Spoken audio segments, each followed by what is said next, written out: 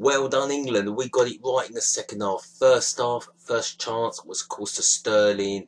He fluffed his line. It was a good through ball play. There was Sterling through on goal and couldn't even get it on target. Wales had a now Wales had a corner. Joe Hart dropped it, and there was Harry Kane to clear it upfield. Good defending, but that's not what Harry Kane is there for also Cahill and Smalling had good chances. For Harry Kane, he couldn't get into the game. He tried his best. He didn't play that bad in the first half, but fortunately, Lallana and Sterling didn't play well in that first half. I thought England actually played pretty well. Kyle Walker, man of the match. Danny Rose, Alli were fantastic. Rooney had a good game.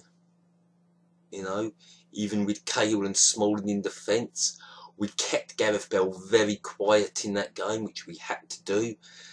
But we gave a free kick away, looked far out, but it's Gareth Bale, no problem. He scores, makes it 1 0 from the free kick. Absolute world class, and there was nothing Joe could do. He got two there, but the pace, the power, there was no way he could divert it out of the goal and put it towards for a corner. Now, the second half we came out more positive. Off went Sterling and Lallana. On came Vardy and Sturridge. And we totally dominated the second half. And the first goal, the equaliser, the ball comes in.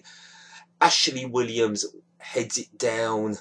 And there was Vardy, the predator, the Leicester man, the story of the season, the score for England, his first goal of the tournament. That's why he's in the England team, and he did exactly what he's there for. Fantastic. 1 1. From there on, England dominated Wales, but Wales held firm.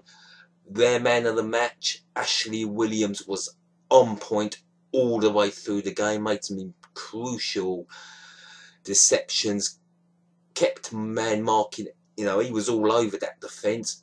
Ben Davies, again, superb for Wales. And I don't know how he doesn't get in the Tottenham team. I think next season Tottenham will definitely be using him more.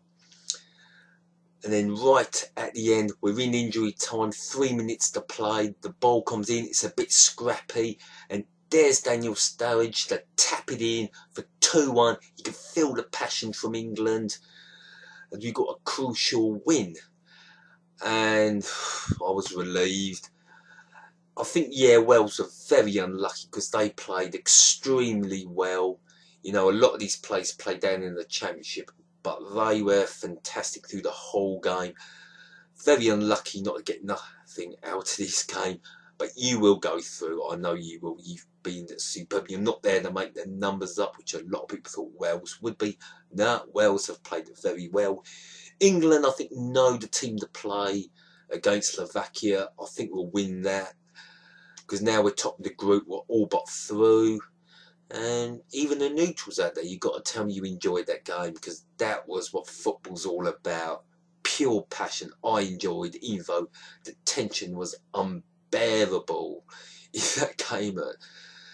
Uh, so many points in the game. You, you feel the pressure, even from the commentators oh, well done England. Uh, you know, well done for getting the victory. That was superb. Whew, full attention. Anyway, thank you for watching this video. I'll say good afternoon and goodbye.